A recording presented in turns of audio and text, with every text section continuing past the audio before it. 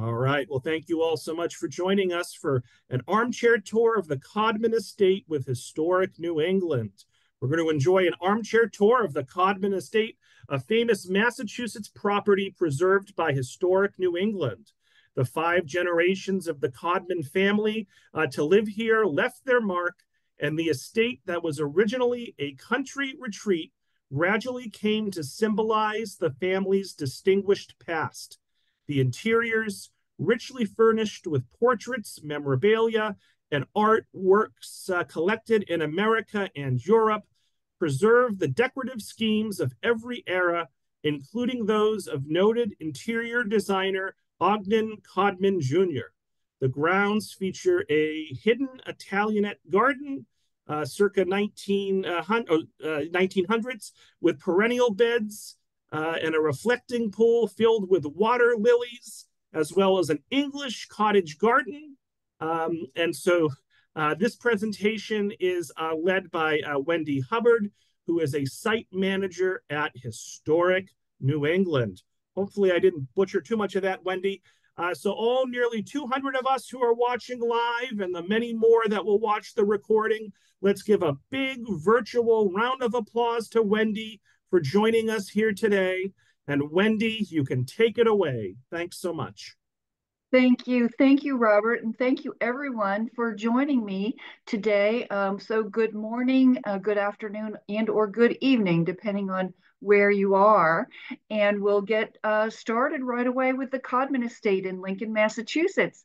So today, um, uh, our themes are a multi-generational family home, uh, their family fortunes, the architectural evolution and preservation of the Codman Estate, We'll also be talking about the collectors, the connoisseurs, and the tastemakers, their possessions, and their interior design choices. We'll also have a conversation about the staff who worked and lived here on the estate, enabling the Codman family's lifestyle. Historic New England is the oldest, largest regional preservation and education organization in the country we own and operate 38 historic properties all around New England, some in the states from which you are um, tuning in. So thank you all for joining me. Just gonna make sure I got my, my next slide. Hold on, here we go. Perfect. Codman Estate is a long um, and multi-layered history. Um, we start our story of the family in 1708. But before we get to that, um, I want to give you a little background on these five generations. The surnames um, of the owners of the property changed over time from Chambers to Russell to Codman through marriage and inherited property, um, but it was a continuous family line starting in the early colonial times of 1708, right up through uh, the last Codman family member to live here, Miss Dorothy Codman, um, in 1968. So that's a long stretch of American history. Um, the estate at its height was 680 acres. Today, Historic New England cares for the estate's remaining 16 acres immediately surrounding this house when you visit, much of the surrounding green space and land that you see was once part of the estate and is now owned by the town of Lincoln, who preserves it as conservation land. Also in 1968, when the property came to Historic New England, the bequest not only included the house, the interior, the uh, collections, uh, the landscape, the gardens, um, but it also contained 100 linear feet of Codman family papers. So imagine 100 feet of um, archival boxes stuffed with files and family papers. That's a lot of information. And those archival documents um, record and trace the history of um, the other people who lived and worked on the estate for over two centuries. And the scope of this um, archival collection really does make uh, this a significant record of New England life. Uh, in today's talk, we'll see interiors and collections reflective primarily of the final two generations, their lifestyle, their preservation choices, um, some of the progress and changes uh, that they made, and the servants' wing. Um, but we're going to start on in the Wayback Machine, where, um, of course, prior to European colonization, um, this uh, landscape um, the Native Americans called the Concord area, which uh, also included what would become Lincoln, Musketaquid or March Marsh Grass River. Um, it is the traditional, it was and is the traditional home of the Nipmuc people, who are descendants, descendants of indigenous Algonquin. And it was the landscape, the confluence of the Sudbury, Assabet, and Concord rivers, which were important to local indigenous people for hunting and fishing, uh, farming, and settlements. The area's wetlands um, and rivers and marsh provided rich and fertile uh, land and are still present and visible today. Because of the richness of this land, it became a target uh, for European colonizers who annexed the land, resulting in the displacement of Indigenous people. Today, nearly 600 members or more, the Nipmuc people are a state acknowledged tribe in Massachusetts and continue to be one of New England's most historic and largest Native communities. Thank you to the historic New England, uh, the, excuse me, the Lincoln Historical Society's map um, of uh, the area. Um, this is a land map that shows um, where you see SPNEA because historic New England was once known as the Society for the Preservation of New England Antiquities. Thankfully, we've shortened our name to Historic New England, but this is um, the area which we currently inhabit. But the uh, the um, the map shows the extent of the uh, land acquisition uh, through uh, this area, once called Concord, now called Lincoln. And with all that um, farming land, um, the owners needed work. And so there were, um, in the 17th and into the 18th century, um, this was the largest slave owning farm in the area with the largest number of enslaved people on it.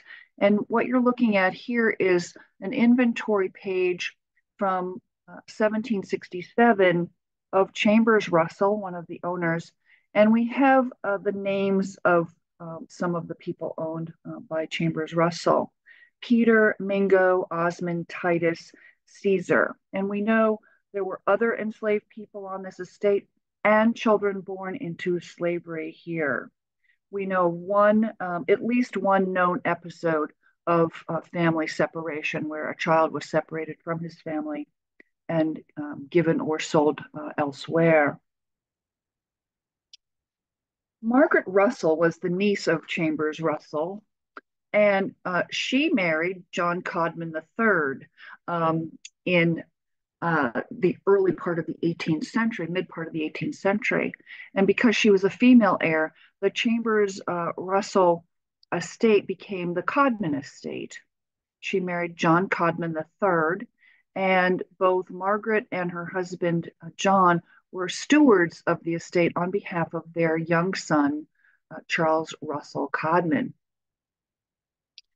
John Codman III, as I say, married Margaret in 1781, so later 18th century.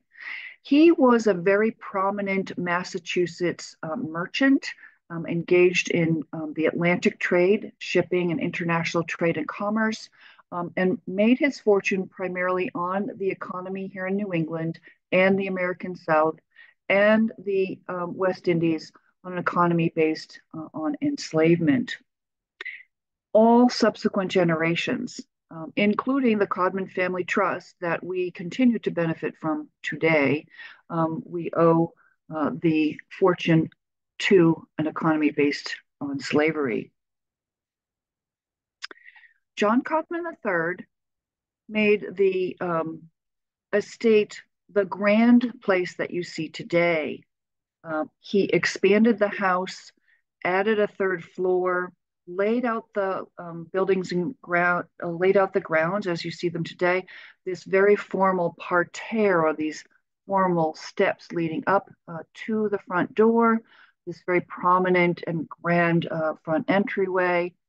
He was eager to maintain the neoclassical um, style of the original uh, mansion added other classical details in terms of the front porch and the columns, the pediment, the dentil molding and the capitals. John Codman also added a servant's wing. So this is the main body of the house, and he added in 1799 this uh, servant's wing. Part of the landscape when you come to visit includes this very quaint and charming octagon um, meadow that was primarily used for animal husbandry, and it contains what's called a ha-ha wall. Now, those of you in the UK uh, probably know what this means. Um, this was an idea that uh, John Codman III got on his visits uh, to England. And basically, it is a um, scene from the prominence of the mansion above on the top of the hill looking out across the landscape. It is a um, almost like an infinity pool. It's like an invisible wall that you only come to see when you get up close um, as you see from uh, this vantage point, that there's a wall here. So, aha, uh, there's a wall here. His son, Charles Russell Codman, inherited this glorious home and um, beautiful landscape, um, but was not interested in living out in uh, the country and had a very cosmopolitan and urbane lifestyle. And so he sold the property out of the family. His son, Ogden Codman uh, Sr., seen here, uh, married Sarah Bradley Codman. And as a young couple, um, full of um, enthusiasm and wealth, uh, were eager to uh, reclaim the family estate and embarked on um, the project um, and renamed the property the Grange, kind of a gentleman's um, farm. So these two were absolutely um, delighted to uh, reclaim not only the, the mansion and the landscape, but also many of the antiques and furnishings uh, that the family owned in previous um, centuries or years. They worked with uh, Codman's brother in law, a prominent Boston architect named John Hubbard Sturgis, and in 1863, 1864, um, basically built a new carriage barn, added plumbing, heating, made several stylistic changes, refurbished and, refer- and furnished the interior rooms with family furniture, art, and objects. Um, and they also made additional acquisitions of objects in Europe and America as well. But they were also very careful to preserve and maintain many of the original and important colonial and federal area, era features of the landscape and the architecture. So the landscape that you visit today actually looks very much like this 1855 um, image of the Codman uh, family's children. Here's a couple sitting on the ha-ha wall um, on their ponies. And this is the main drive up into the estate. And you will see grandfather John's picturesque elms here um, in this photograph, uh, making this very grand allée as you approach the mansion. And I'm just bringing your attention to this um, bed of um, annual plants and cannas uh, because you'll see that uh, later on in another slide. So the people that um, you're going to see as we step through the door will be the people from this era, this um, late 19th, early 20th century um, era. Uh, here they are taking tea with uh, Lady Grey Edgerton, um, an, an, English aristocrat, and with her daughter Violet on the Codman family uh, piazza. So the straw boater hats and the very Victorian garb kind of help place this um, in the era we will see on the inside. Just a note about those beautiful elm trees. Of course, in the 1930s, they succumbed to Dutch elm um, and we replanted, and it is a Grand Allée, but it's no longer, unfortunately, grandfather John Codman III's elms. Known as a mansion in its own time, this was a very impressive manor house from the very start you're looking at original 1740s woodwork in the staircase uh, triple helix or double helix newel post and the triple design banisters uh, in the main hall. These were taken from English pattern books uh, sent over to the uh, colonies here in the Americas, and it's American craftsmanship based on an English tradition. You'll also notice that there are other layers of history beyond uh, the 1740s original structure, including Minton tile here on the floor and some Asian uh, ceramic. So it's a very rich and multi-layered interior um, that really represents lots of different family influences and choices over time. We'll step through into the paneled parlor. This is part of the original 1740s house with the original uh, paneling, the architectural detail is intact and in situ, meaning in place in this uh, room. It was very carefully maintained by John Codman and his wife Margaret, and their son Charles Russell Codman, and his son Ogden Codman Sr. It was Ogden Codman Jr., noted architect and interior designer, who painted it white um, in the fashion of the colonial revival era of the early 1900s. And uh, yes, 1900s. You'll also see in this photograph um, French toile fabric um, and blue and white uh, ceramics from Asia. Um, it is a room that was um, refurbished uh, fairly recently in the 2000s um, by the curatorial staff with conservation work on the furnishings, art, um, and the uh, fabric were reproduced. And part of that fabric, where you see reproduced fabric in the house, is because the family saved all of these materials and the archival materials and the documents um, also had scraps of, of fabric. So we were able to um, reproduce the color, but also the repeat of the pattern um, in this beautiful French toile. You'll see their um, taste in American and European art and furniture um, throughout the house. Mrs. Uh, Sarah Bradley Codman's family was in the Asia trade, and she had a preference for blue and white uh, ceramics. So in their case, John uh, Ogden Codman Sr. and Sarah Bradley Codman, money married money, which made a very fruitful uh, partnership. We'll step through into the dining room, which is a very different flavor indeed. This was uh, designed by John Hubbard Sturgis, a noted architect and interior designer and brother-in-law to Ogden Codman Sr. And John Hubbard Sturgis's taste ran to high Victorian with a, an emphasis on the revival mode. And so this evokes a kind of Tudor um, splendor with uh, butternut fretwork on the ceiling, heavy uh, woodwork, heavy furnishings. And this was uh, John Hubbard Sturgis's claim to fame and uh, reproduced um, Gothic revival, Tudor revival, and other kinds of revival uh, for Victor- wealthy Victorians um, here in the United States.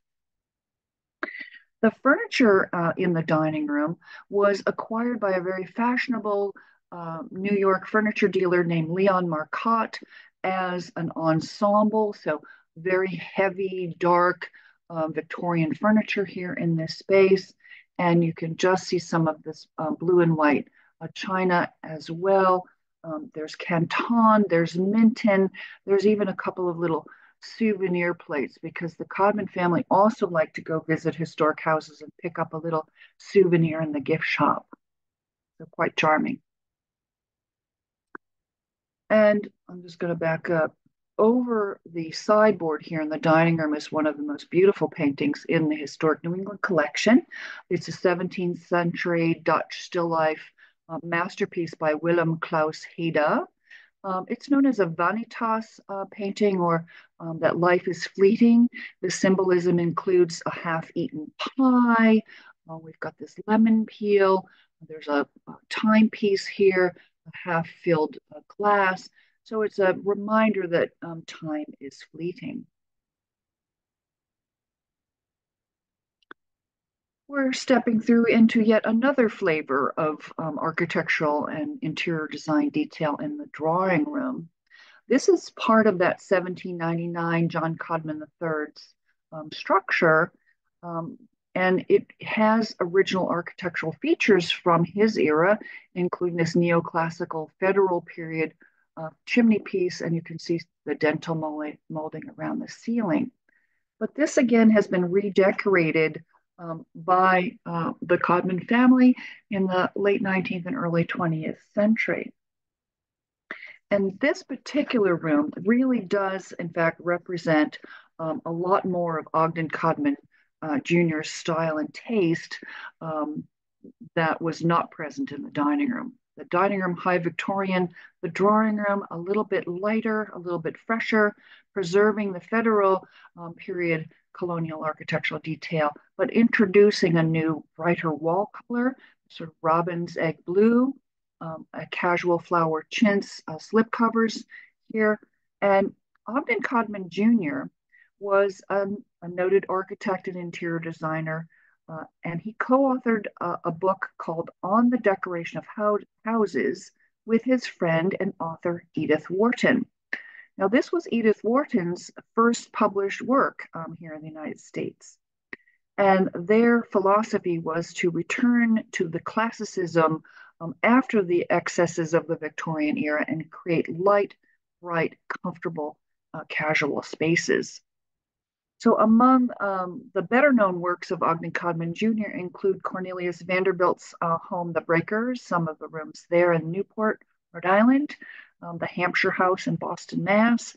Uh, he remodeled and redecorated some of the rooms in uh, in upstate New York for the Rockefellers uh, in the Hudson River Valley. Ogden Codman Jr. will be um, one of four um, bachelor interior designers um, featured in uh, the new exhibition opening at our Eustis Estate in Milton, Mass, um, called The Importance of Being Furnished. So I put the website in the chat and my contact information there as well. So if you have um, any curiosity about that exhibit or about Ogden Codman Jr., feel free to reach out. Going to step through, and here he is, uh, Ogden Codman Jr. as a young man with his carte de visite, um, produced in Dinard, uh, France, where the family lived for a time. And as an older gentleman, here he uh, lived out his life primarily uh, in the south of France. He was a gay man, um, by the way, and um, the only of his um, five siblings to actually marry. He married a lovely woman by the name of Lila Griswold Webb, a wealthy widow. Um, they had a lovely uh, marriage and they were compatible in, in taste and, and personality. And he was devastated um, upon her death. But you know, human beings are complicated, and um, he also was attracted to men, and probably in the LGBTQ plus um, you know, um, uh, rainbow, he would probably consider himself queer. Um, but they didn't have that kind of language uh, for that at the time. So his life, his work, um, and his choices will be part of the discussion uh, for the importance of being furnished five bachelors at home in the new exhibit. Ogden Codman Jr. advised his siblings that since they no longer played billiards, that it wasn't in fashion anymore, that they removed this great chunky piece of furniture um, from the billiard room and create a comfortable library. So myth has it that um, they removed this out the large window in the library and like you do kind of set it on the side of the street with a free sign on it someone has that billiard table perhaps somewhere in lincoln massachusetts we just don't know. So this is um, one of the most comfortable rooms in the house, but it's also a room where the fabric has not been reproduced or restored. So it was a very bright, beautiful, highly Victorianized um, space. For example, these silk pillows um, of chinoiserie fabric were bright blue. You can just get a little sense of the rose uh, damask on the comfy chair and the velvet curtains were emerald green. So this would have been a jewel toned, beautiful space um, as a library. In it are family portraits, including Ogden Codman Jr.'s brother Hugh with his violin uh, there under his arm. And we've stepped upstairs uh, to um, the um, bedroom of Mr. and Mrs. Codman. Again, matching furniture from Leon Marcotte, the fashionable uh, furniture dealer in New York City. Again, the robin's egg blue and the painted um, paneling uh, a la Ogden Codman Jr. and fresh reproduction fabric based on um, the samples that uh, we know exist. The Codmans wanted to live in comfort, and while um, they their early colonial house was magnificent. It was um, not terribly comfortable for uh, modern um, bathing. And um, so they modernized their uh, bathrooms. And um, before 1874, the water was pumped from the well by hand uh, and carried up to the uh, wash. Um, by 1899, new water pumps pipes were installed. And then the plumbing in 1903 was updated one more time. And you just notice the pipes actually run uh, on the exterior wall because part of their preservation ethic was not to tuck into some of these early 1740s um, wall spaces, but to treat them re- with respect and run the pipes um, out so they didn't have to take down and just and damage original structural and interior walls. Now, some of those people who were pumping and carrying water um, were some of the servants, and we have a photograph here of Ellen, Nellie, Mary, Marie Reine here, Watson Tyler, and the dog Rover. Now, Many employees lived and worked uh, on the grounds and in the house, uh, making their lifestyle possible. Parlor maids, chambermaids, cooks, nannies, caretakers, chauffeurs, and very specific individuals who served on the estate. By the 1890s, early 1900s, there were generally four women working in the house a cook, a parlor maid, and a chambermaid. Marie Reine, um, Watson Tyler, and another gentleman, Philip Place. Um, each of those three worked on the estate for their entire adult lives over 40 years.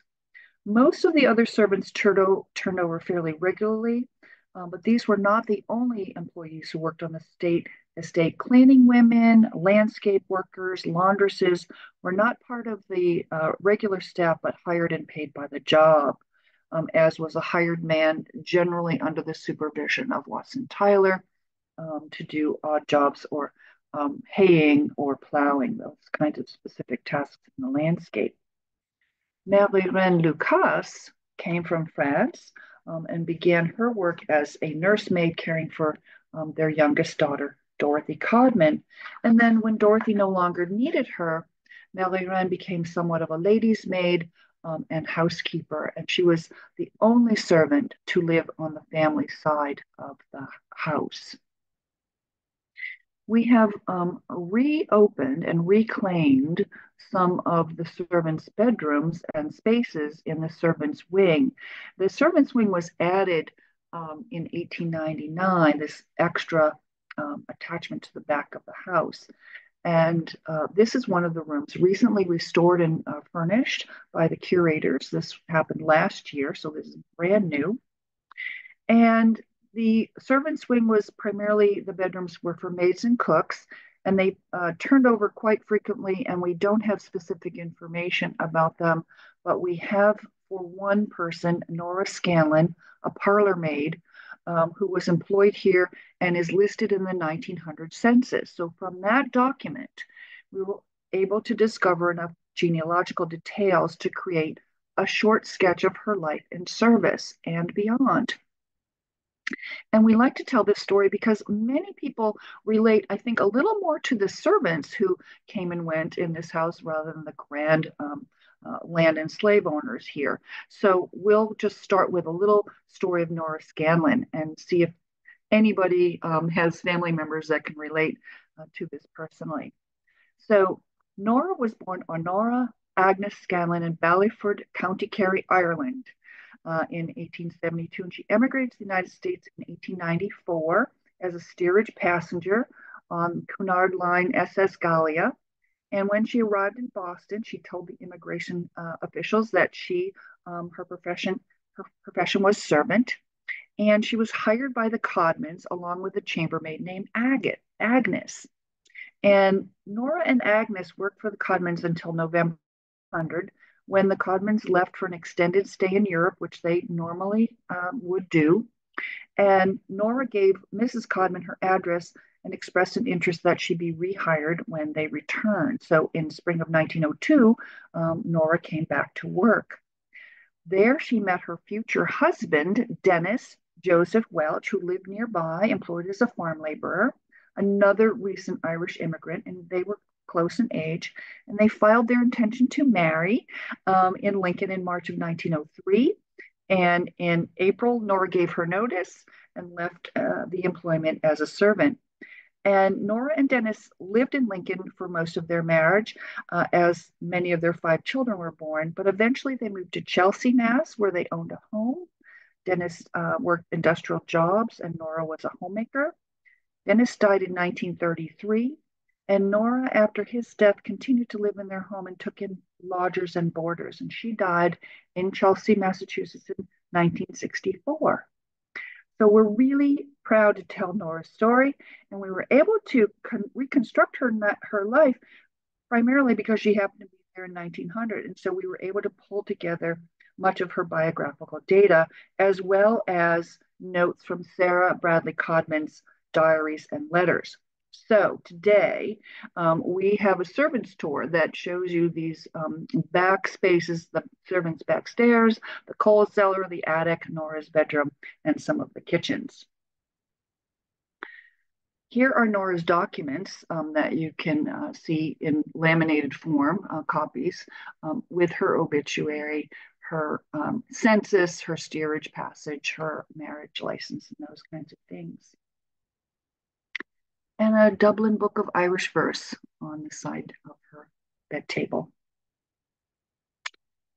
Here in the servants' hall, this is a space that would have been um, in existence in 1799 as uh, a kitchen. It was turned into the servants' hall um, when they added on the kitchens uh, further behind this space along the servants' L.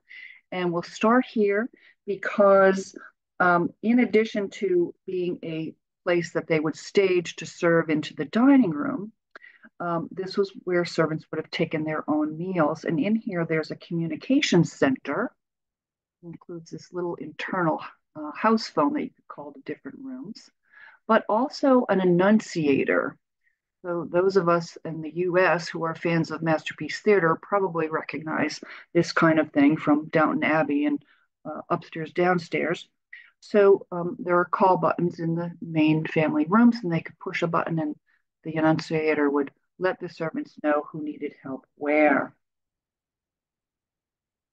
And the table shows fairly, you know, modest kind of um, setup with uh, their tea and apples and other kinds of things for their own meals. The pantry has numbers of sets of dishes, a lot of blue and white in here, um, and this would have been uh, used for serving the family and cleanup as well.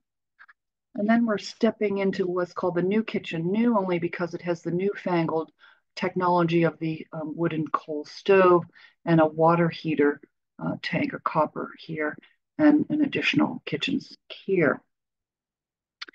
So cooking was hot, physical labor, chopping, rolling dough, tenderizing meat, hefting large mixing bowls, pots, pans. Cooks had a long day, up early to make breakfast, uh, through tea and dinner, and they would have to keep the range going all day, hot in the summer. They, this would have meant lugging coal from the cellar. So Ogden Codman Jr. wrote to his mother um, and thought that the problem that his mother had with keeping a good cook is that she needed a kitchen maid to help with some of the drudgery. And he wrote to her, excuse me, I fancy that you would only keep a tolerably decent cook um, with a kitchen maid. And so we know that one was hired. Um, apple pie making here and butter churns. So the laundry is the next room, and that um, was primarily someone who was employed as a day laborer again, it tended to be a young female Irish immigrant who came uh, to the house a couple times a week uh, to do the washing in house. But very often things would have been taken out of the home and washed in uh, other homes where laundresses um, had their businesses. The Codmans also used commercial laundries, including this one, Lewando's, with various branches in Cambridge and Roxbury and Brookline, um, and the Boston branch in the main office of Temple Place, downtown Boston. Um, so we know that uh, the Codmans used this laundry because we have their invoices and payments in their um, documents. So we've got a very faint laundry line that is hung, was hung and strung behind the servant's wing and behind the laundry here. It also shows the original 1900 greenhouse, which is no longer there.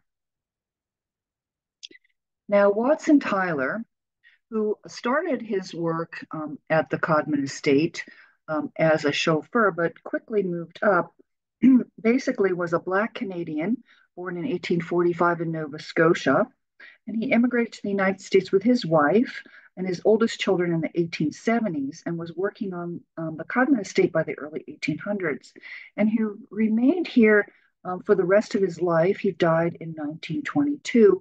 Um, he did not live on the property. He had a home for his um, uh, family just up on uh, Concord Road, 98 Concord Road in Lincoln, and his descendants still live there today. Watson was um, in charge of most things uh, outside in the landscape, um, and seemingly everything else that occurred uh, on the grounds uh, that came under his purview farm chores, gardening, planting and pruning trees, caring for livestock, um, getting the house and grounds in order uh, for their family, for the family's returns from their travels. Um, and while the family was uh, away, Watson served as the estate's caretaker.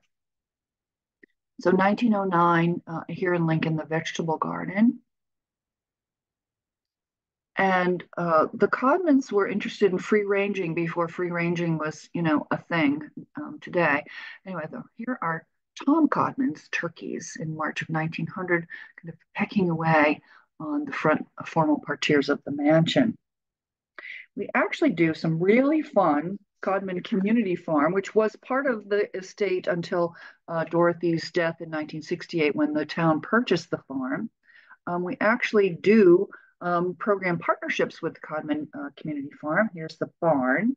And we know that the Codmans were canning because here are the cans of tomatoes and uh, bottles of sherry and jam and other kinds of things that are still uh, in storage um, in their cold store down in the basement of the Codman family home.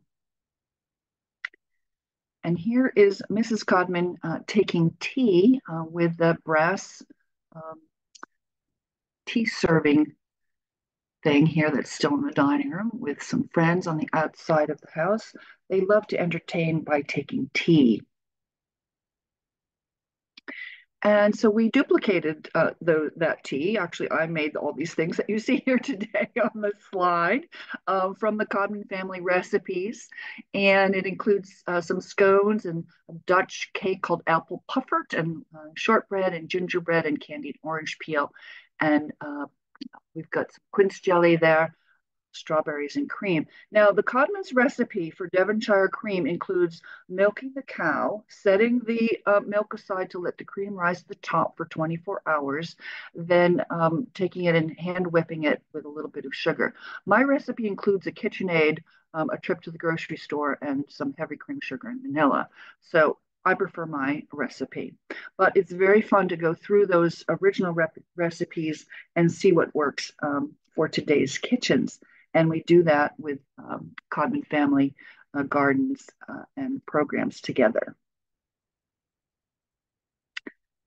Okay, so the Italian inspired garden was installed in 1900 um, Ogden Codman Jr. advised his mother about this, creating this classically uh, formal place with informal uh, New England flower beds. And he suggested to narrow the lawn as it extended away um, from your original vantage point to create the illusion of depth and spaciousness.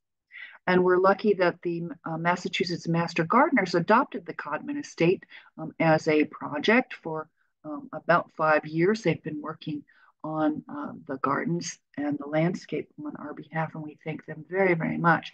See this beautiful bit of peonies um, in bloom, classical statuary, also terracotta urns from Florence uh, in place here. The shady side and the sunny side with perennial beds. It's a lovely place, and we often rent uh, the Codman Estate for weddings, as you can imagine. So in contrast to the Italian inspired garden is Dorothy's garden, which is um, on the opposite corner of the estate uh, next to the carriage barn. And this was inspired by the arts and crafts movement. Um, and Gertrude Jekyll may be familiar to some of you UK and US uh, gardeners. Um, her idea was a less formal um, uh, garden with uh, perennial beds and climbing roses, clematis. There's a little, um, little tiny reflecting pool here that's hidden um, behind the foliage. And so um, these plants emerge in a succession of bloom from spring to fall.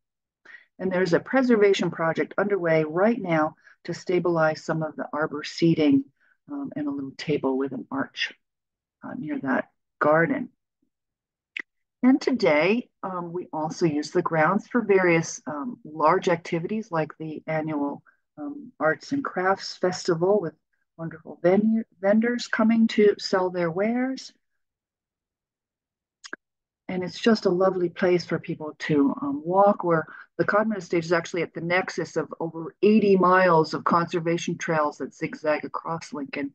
And so we get lots of landscape visitors um, coming uh, and using the um, our parking as the trailhead, which we're happy for them to do so. Um, and we uh, look forward to seeing some of you come to a, come for a visit. So to wind up, in 1968, uh, the property came to Historic New England uh, because it was the Codman family's intent to preserve the homes and grounds, and I quote, as a specimen of New England country estate.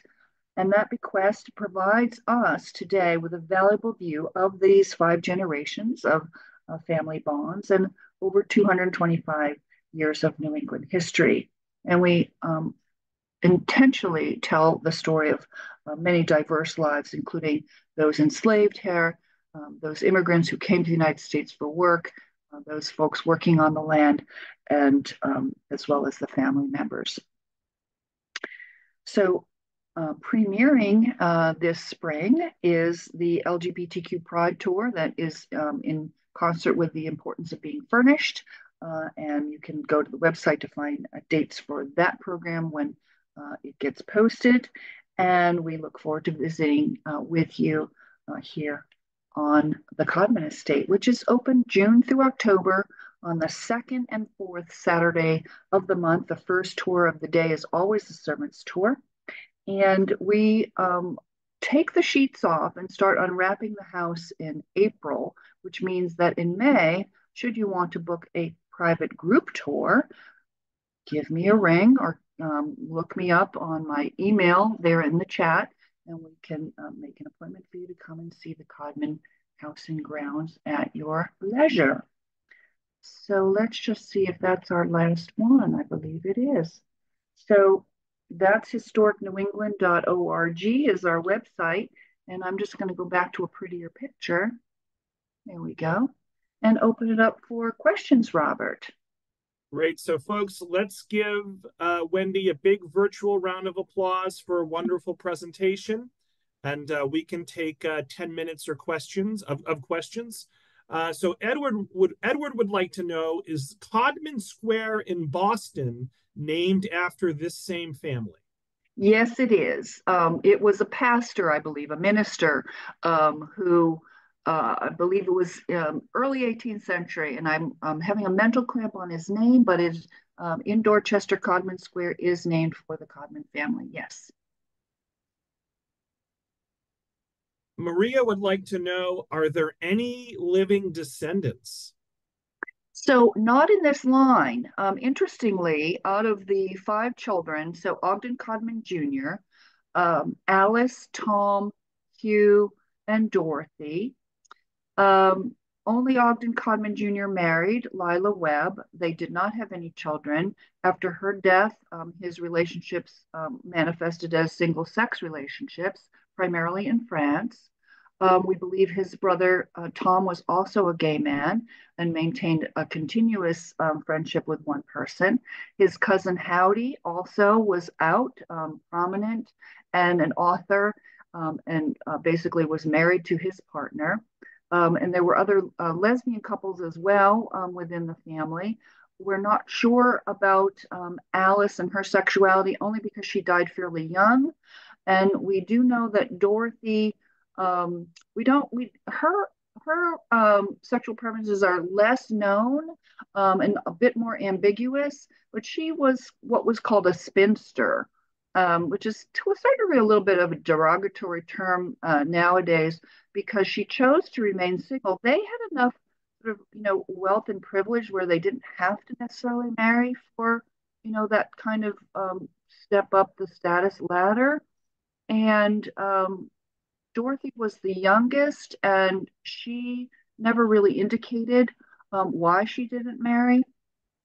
Um, but we know that um, Hugh was infatuated with um, his, because he was a musician with his um, uh, female um, uh, musician friend, and but his mother didn't think that she was uh, a sufficient um, rank and social status that um, he would be able to marry her. So that romance was kind of scotched early on, and then he developed Parkinson's disease in midlife. So um, you know his health concerns kind of laid out a track that was um, unfortunate for him, and um, so you know, Ogden, Tom, Hugh, Alice died young, and Dorothy lived to a ripe old age, but we just don't know. So, now no, it, no direct descendants from this particular family line. But Ogden Codman Sr. had lots of um, brothers and sisters, as did Sarah Bradley Codman. So there are aunts and uncles and cousins um, and folks that descend through um, through the Codman family, but not this particular line. In fact, the portrait of John Codman III, which is a John Singleton Copley portrait hanging in the house, was owned by one of those cousins who then uh, donated it to us at Historic New England. Um, and one of the features, actually, oh, we're looking at her. Uh, one of the features of the Italian garden is now this um, uh, reproduction uh, statue of Flora, and that was um, basically paid for by a Hubbard uh, family descendant. So that was reproduced um, with donations from a descendant. And as I mentioned, the Codman Family Trust, uh, Ogden Codman Sr. Um, set up the property in trust um, for his family, and uh, that trust continues today, um, and we benefit from it for various capital projects. and in fact, so, uh, the town of Lincoln does as well. Miss Dorothy Codman was a quiet philanthropist, and um, her money through the Codman Family Trust goes primarily to um, elderly people in Lincoln and other kinds of, you know, um, worthy um, needs needs based. She was a very quiet philanthropist and um, did good deeds for individual people around town. Uh, so, Oh, sorry, a, a, little bit of an echo. so um, a couple of uh, comments, then we'll get back to questions. Uh, C uh, says that she loved this. You're a wonderful presenter. She enjoyed your voice. Uh, are your other lectures listed on your website? Yes, historicnewengland.org. I think you have to go to book a speaker tab. I'm not sure where that is on the website, but all of the site managers at Historic New England do armchair tours. I myself oversee four properties. So the Codman Estate in Lincoln, the Gropius House, a 1938 mid-century modern icon of architecture, um, uh, in you know, sort of the Bauhaus style, and that's a good one. And I do also the Cooper Frost Austin House, which is the oldest house in Cambridge, uh, 1681. And I oversee the Brown House in Watertown, one of the oldest houses there, 1698. So, um, but you know, everybody, Hamilton House, Jewett House, Eustis, um, all of the properties have um, armchair tours. So, and other departments, the curatorial department and other, you know, preservation services, you know, so the buildings and grounds and the preservation carpenters um, all have various talks. And uh, because of the COVID shutdown, lots of these talks became so popular on Zoom that we were really able to reach, um, you know, in, with deeper topics and uh, a larger audience, in fact. So coming up, um, last year we pr uh, premiered um, a prominent woman architect of the early 20th century, Eleanor Raymond, and that's a talk um, that we um, are presenting. And the LGBTQ talk will be uh, we'll premiere it live and then that will be available. We do the servants um, wing as a Zoom. So lots and lots of things to talk about. And I do an early history of enslavement um, Zoom talk. So yeah, plenty of plenty of topics to choose from. And that's just my little sphere of, of history. Good question though. Thanks. Yeah. Joan said she really enjoyed this and she thanks you. Frances, uh, Francis says it was an excellent presentation. Marianne says it was great. Patricia says very informative. Teresa says wonderful.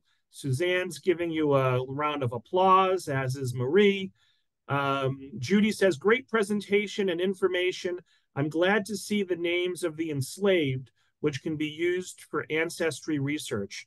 And that leads me into a couple of other questions. Yeah. And an, an anonymous attendee asks, did any of the Codmans fight in the Revolutionary or Civil Wars?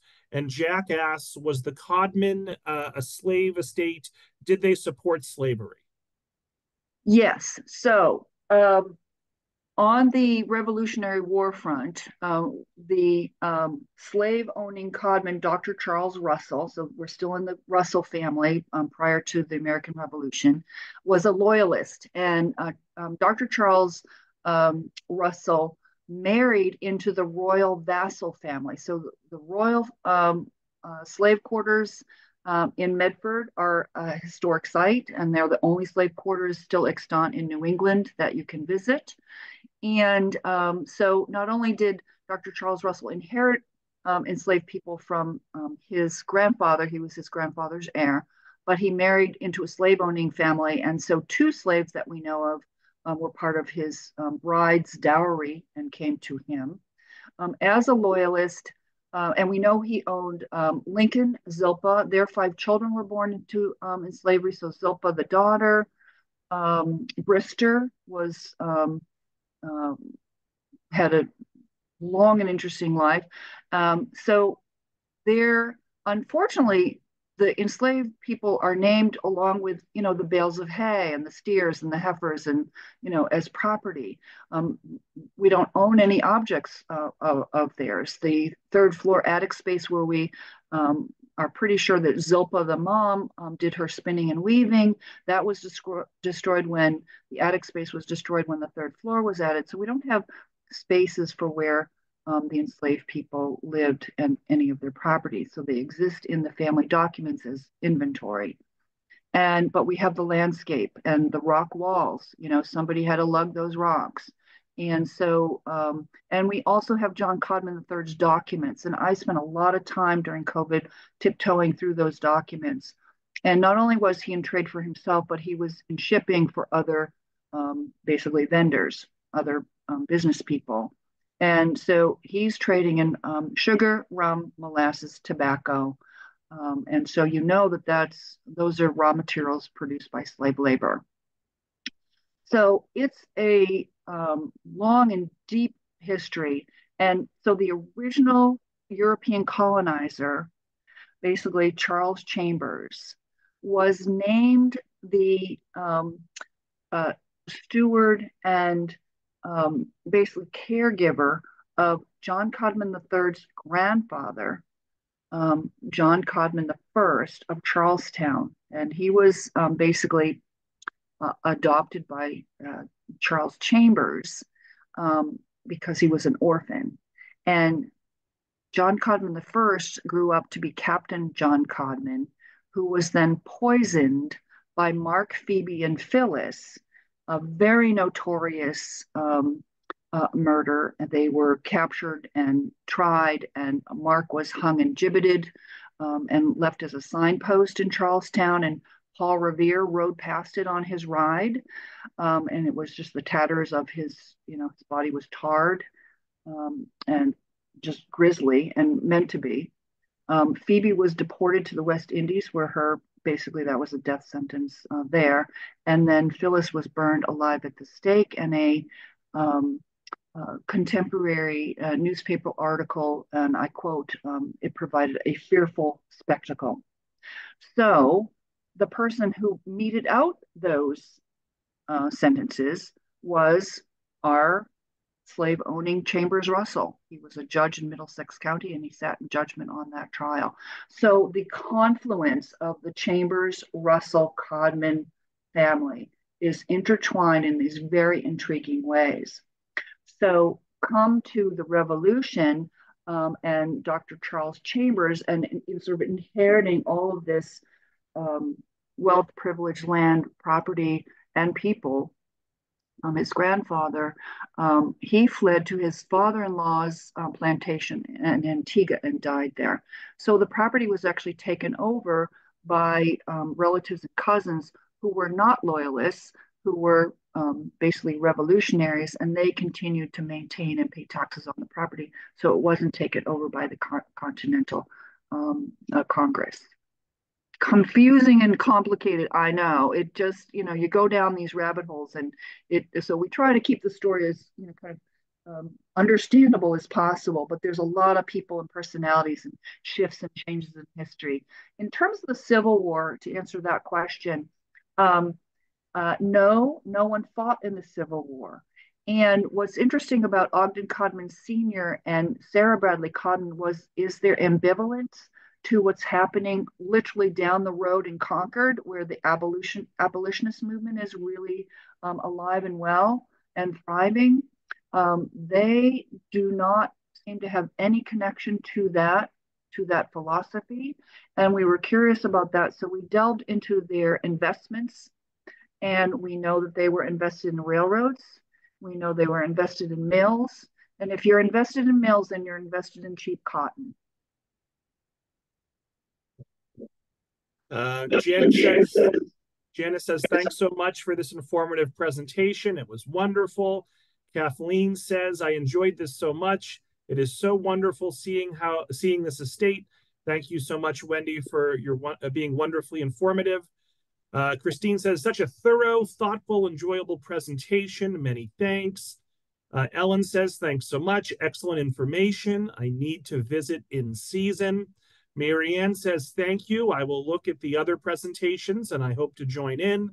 Uh, Lois says, love the photos. They are so well taken. I felt as though I was there. Thank you. And Edward says, great job. I can't wait to visit in person. Uh, Debbie loved this. Francis and Karen say, thank you. Great presentation. Uh, we're going to leave a couple of questions on the cutting room floor, so to speak, but I will provide uh, Wendy's email address in the follow-up email I send later today. So if your question wasn't answered, uh, feel free to reach out to Wendy directly. So Wendy, any last words before we wrap it up? Well, I just want to say thank you, thank you for spending your morning, um, day, and or evening with us. And um, I hope that uh, um, I touched upon something that perhaps um, y'all can relate to in, in this story somewhere in your own family history, genealogical uh, charts, and or you know um, locations and communities where you all live. So thank you so much for joining me in my little corner of the world here in Lincoln, Massachusetts. Uh, it was our pleasure, Wendy. Uh, ph phenomenal job. Uh, thanks so much. I hope you and the audience enjoy the rest of their day. So thanks Thank again, you everyone. so much. Bye-bye. Bye.